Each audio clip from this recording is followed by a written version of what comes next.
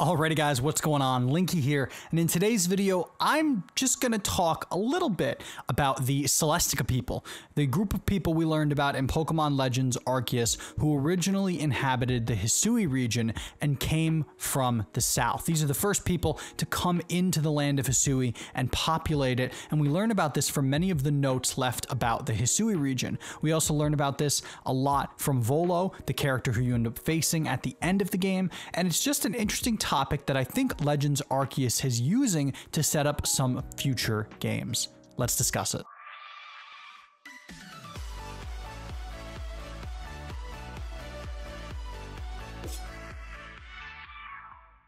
There are so many reasons why I love the Sinnoh region and why I love Generation 4 as a whole. When it comes to fantasy media and fictional works, I love the lore and history that writers and designers give their worlds.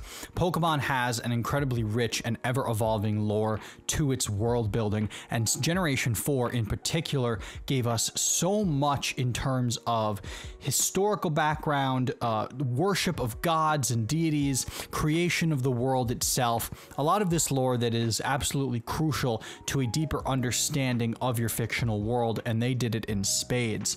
Legends Arceus was no different. It took a lot of the original stuff created by Game Freak in Diamond, Pearl, and Platinum and just charged it up by a thousand. We got tons of new stuff and tons of new writings and musings from the people of the Hisui region about the land they were living on. Hisui is an interesting moment in Pokemon's history because we're seeing a region populated from the very beginning. We're learning a lot about the original people who populated the land. We're learning about how the transition to modern Sinnoh happens, and we're getting to see the clashing ideals between people who fear the land and people who live off the land. And in the world of Pokemon, part of living off the land is interacting with the flora and fauna of the land, and that is Pokemon. We see the Diamond Clan and the Pearl Clan share an intimate connection with the Pokemon who live on the land of Hisui, whereas the Galaxy Expedition team and some of the people who are leading it are deeply apprehensive of connecting human and Pokemon. One of the things that we see throughout the game is this ancient people. In Old Verse 5, we see it say, quote, Long and longer yet ago, Celestica was here. Both folk and town alike both did disappear. In time came new folk sailing, sailing across the sea, called by their love of Sinnoh, great and almighty. But different were Sinnoh that each folk did hold dear, and bitter strife and anger war were always at the near. Celestica, they called themselves, the name not theirs to take, yet claim it from the past they did, for tragic quarrels' sake. So once again did our name live, through all our people gone, but even if the name endures, its heart does not live on. The Celestica people came before the Diamond and Pearl clans, but the Diamond and Pearl clans are ancestors of the Celestica people. But Celestica is not a name of theirs, it is a name even older than those people. One of the things speculated about from the community is where these people came from, and given the geography of the Pokemon world, it is fair to claim that they came from the south. Sinnoh is the northernmost point of the continent made up of Johto, Kanto, and Sinnoh. To the north of the Johto region, but to the south of the Sinnoh region, is an area of land, a mountainous area called Sinjoh. We see the Sinjoh ruins in Pokemon Heart Gold and Soul Silver. In there is a temple that Cynthia takes you to with an expedition explorer, expedition explorer, with an excavator where you get to use the Arceus brought from Diamond, Pearl, and Platinum to create a new egg of Dialga and Palkia. Some have speculated that Sinjoh is where these people are from. They migrated further north and founded the Hisui region. These are the Celestica people. They probably called the area of what is now known Celestic Town to be home. There's so much here that is really fun to dig into. One of the topics that it brings up is, well, why did they worship Sinnoh? And why does that worship of Sinnoh not permeate the modern world? And who are the original Celestica people? Is Celestica the name of Hisui even before it's called Hisui? Is Celestica the name of the continent at large, or the name it used to be gone by? In some of the verses, as I read off before, and I wanted to read you the whole verse because I think it's it's very important for a lot of this lore. They talk about Celestica as not only being the people who call this land home, but also the name of the land itself.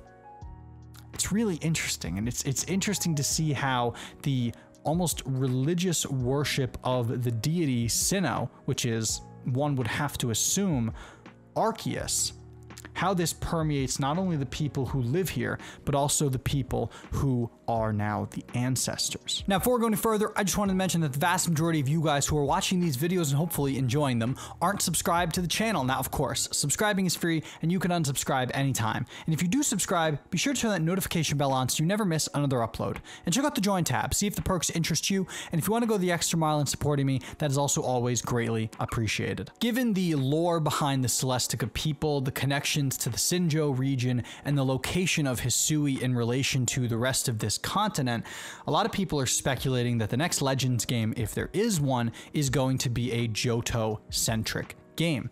Of course, Johto will probably have a different name. It'll probably be just the Johto region and not the Kanto region, unfortunately, because since Heart Gold and Soul Silver, Game Freak has really not wanted to return to previous regions in the same game. But if we do go back to the Johto region, it's going to be some interesting questions that will have to be answered. Sinnoh went by Hisui. What will Johto go by? If Johto and Sinnoh are both going by different names in their past, how does the region between the two eventually come to be known as Sinjoh? Will they even address it? If they do address it, are we going to learn more about the Celestica people? This is all assuming, like I said before, that the next game in the Legends series is going to be based on Johto. That is, if we even get another Legends game at all. And of course, Johto is the region that we've visited the least frequently in the most recent period of time. It is the game that has yet to be remade the most recently. It is the generation that we've yet to explore very deeply in the last 10 or 15 years. And it is the game that came after the Sinnoh region. So if you're going to be remaking them and also considering remakes in your list of games that need to be remade, then before Black and White and Black and White 2 can be remade, you're talking about Heart Gold and Soul Silver, which are already remakes. That sounded really confusing, but I hope it tracks. And I don't think they're going to remake a remake. I think they're going to give it the Legends treatment. A couple YouTubers have made videos on this in the last couple weeks, speculating about the potential of a Let's Go Johto, not a Let's Go Johto, a Legends Johto. And I do agree with them that it is likely and it's going to be likely that we see more built upon the Celestica people. My personal theory I don't think the Celestica people are from the Johto region.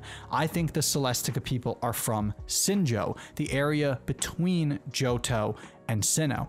These people are regionless and they come to settle the Sinnoh region and eventually become the Diamond and Pearl clans, which translate to the modern world of Sinnoh. They are the first people to call Sinnoh home.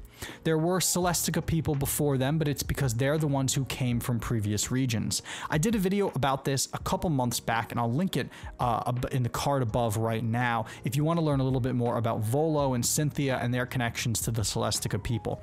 I think the topic is really interesting, and I would love to know what you guys think. Do you think we're going to learn more about the Celestica people in a future Legends game? Do you think we could see some writings or some verses talking about these people in a book somewhere in the Paldea region, considering it is bookended by Legends Arceus on one end? They do like to connect these games that are the ones that follow each other in the release cycle, at least a little bit sometimes hinting towards future games and other times calling back to the ones before it. So if we do see some mentions of the Johto region, the Sinnoh region, or the Hisui region, I would expect it to be related to that lore, but that's if we do get those callbacks. If we get hints towards the future, that kind of just goes out the window and we really don't have much to work with there.